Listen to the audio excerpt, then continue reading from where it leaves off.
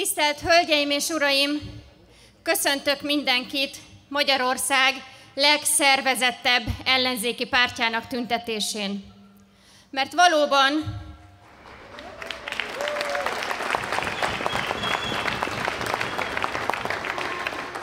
az önkormányzati választásokon az ellenzéki pártok közül a Mi Hazánk mozgalom állítja a legtöbb jelöltet. Elsőként... Elsőként adtuk le az európai parlamenti választáson induláshoz szükséges ajánlásokat is az ellenzéki pártok közül, és mind a 19 vármegyében és a fővárosban is állítottunk listát.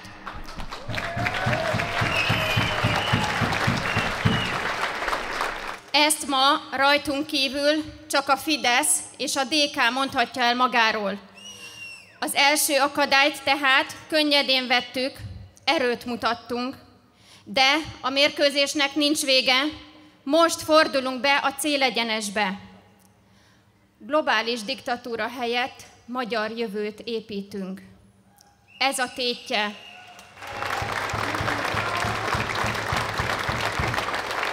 Ez a tétje az előttünk álló választásoknak.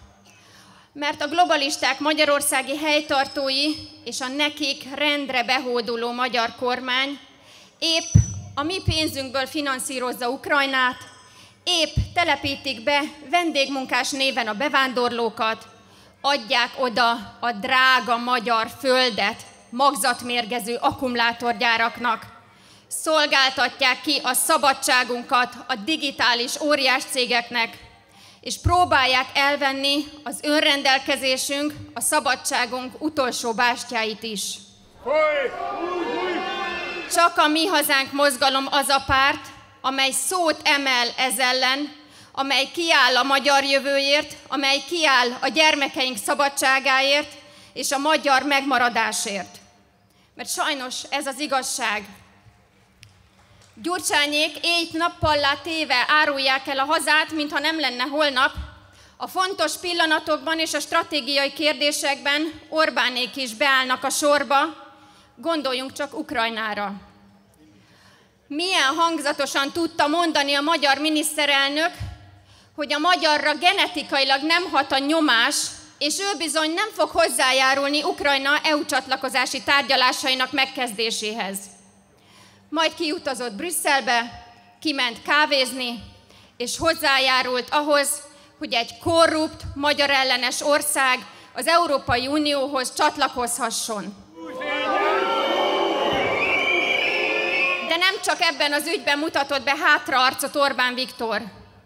Most már a ti pénzetekből, az önök pénzéből, a magyar adófizetők pénzéből finanszírozzuk az ukrán állam fenntartását. 200 milliárd forintunkban kerül Zelenszky hatalomban tartása. És a béke melletti kiállás tekintetében is letette a fegyvert a kormány. Szijjártó Péter ugyanis hozzájárult ahhoz, hogy közös európai pénzből, így a magyarok pénzéből is kifizessék az Ukrajnába szállított fegyvereket az EU tagállamoknak. Most már tehát a közös kasszából a magyarok is finanszírozzák az Ukrajnába küldött fegyvereket. Teljes fegyverletétel. És nincs, nincs a mi hazánkon kívül olyan párt, amely azt mondaná, hogy a magyarok pénzét ne adjuk oda Ukrajnának.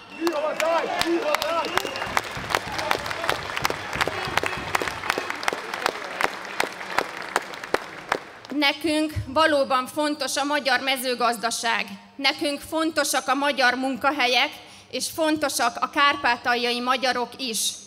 Nem csak addig, nem csak addig, amíg ránk nem ordít egy brüsszeli bürokrata, hanem mindig is az volt, és mindig is az marad.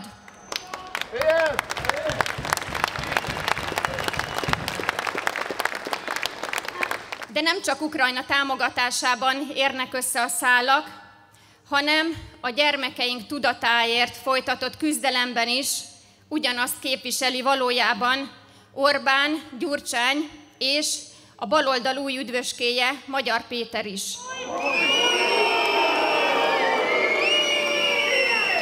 Gondoljunk csak arra, hogy a magyarok szabadságát ezerszer sárba tipró Facebook jogtanácsosát akarja az Európai Parlamentbe küldeni képviselőjelöltként, annak a Facebooknak, amelynek a globális szabályozásért felelős igazgatója be is vallotta, egy saját világot teremtettek maguknak. Na, az ő világuk az, amiből mi nem kérünk. Nem kérünk. Nem kérünk.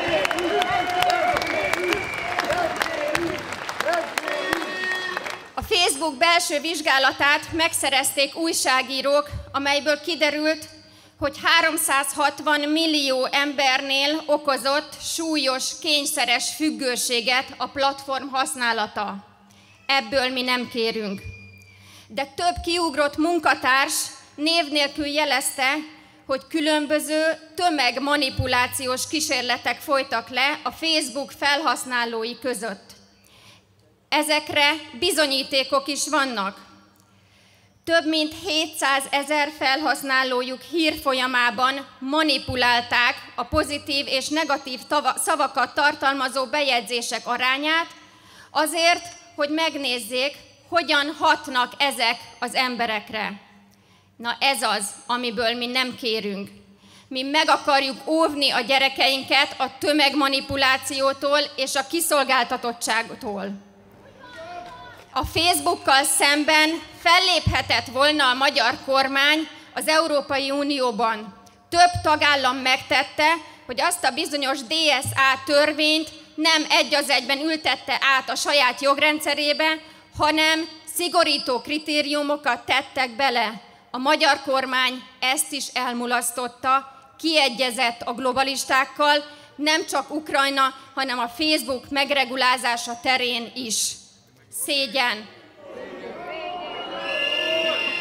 De nem csak a tudatunkat akarják mérgezni, és erre bizonyítékul szeretnék megosztani önökkel, veletek egy hírt, ennek a címét és egy részletét.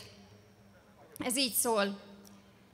Vele született betegséget okoztak a veszélyes munkakörülmények több Samsungnál dolgozó nő gyermekénél Dél-Koreában.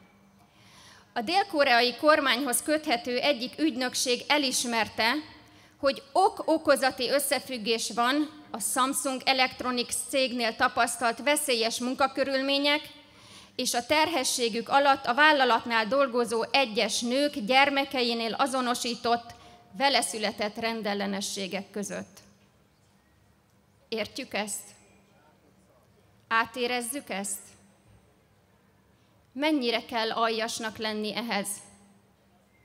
Kiveszi a bátorságot ahhoz, hogy munkavállalók gyermekein maradandó károsodást okozzon?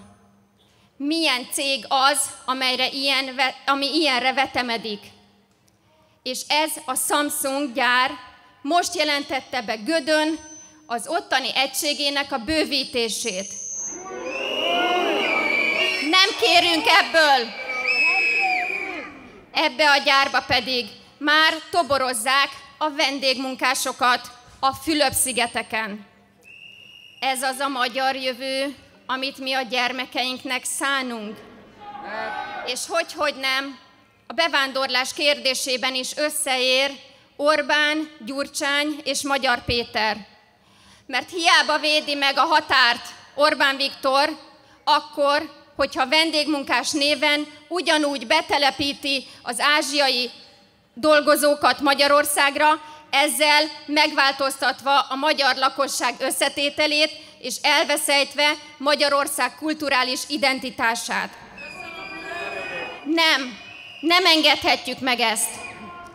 És e tekintetben is látjuk azt, hogy Gyurcsány Ferencék ét nappal látéve az Európai Unióban a bevándorlás mellett kampányolnak, és Magyar Péter európai parlamenti listáján is megtalálunk egy bevándorláspárti jelöltet, aki Brüsszel egyik pozitívumaként említette azt a sokszínűséget és toleranciát, amit ott tapasztal. Nem szabad, hogy a vendégmunkás kérdésben lankadjon a figyelmünk. A törökök is így kezdték Németországban. Csak vendégmunkások voltak. Sem a bevándorlást, sem a vendégmunkásnak nevezett bevándorlást nem tűrhetjük. Ha az ő globalista útjukat követjük, a jövő nemzedékei nem fogják tudni, hogy mit jelent egyáltalán magyarnak lenni. Ez a két világ áll tehát szemben egymással. Az ő globalista világuk és a miénk, a magyar jövő. Mert mi rovarevés helyett hazai kenyeret akarunk.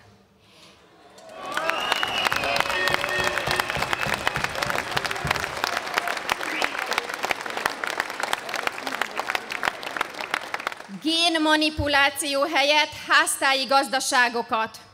Tesco helyett hangya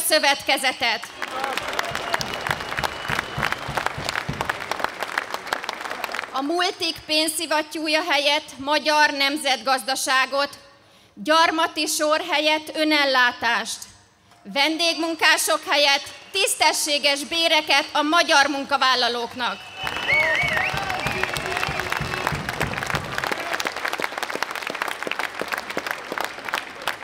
mérgező akkumulátorgyárak helyett minőségi élelmiszeripart. Végrehajtó maffia helyett kárpótlást a magyaroknak.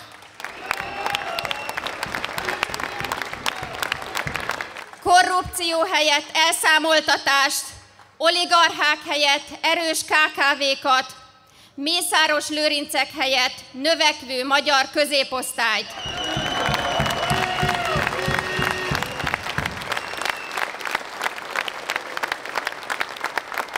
Az ukránok támogatása helyett magyar érdekképviseletet, LMBTQ propaganda helyett egészséges, gyarapodó magyarságot,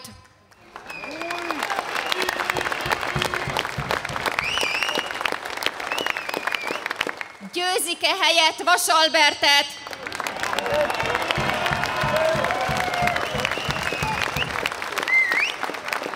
bevándorlás helyett határvédelmet, szivárványos zászló helyett nemzeti trikolort,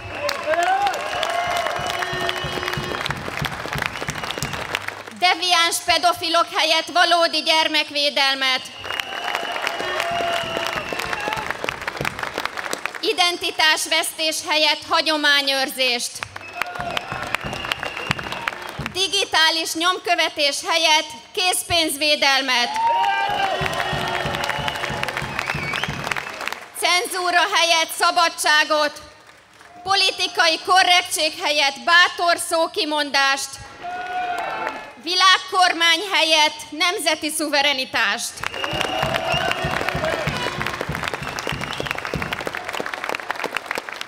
Oltásterror helyett emberi szabadságot, a globális diktatúra helyett tehát magyar jövőt.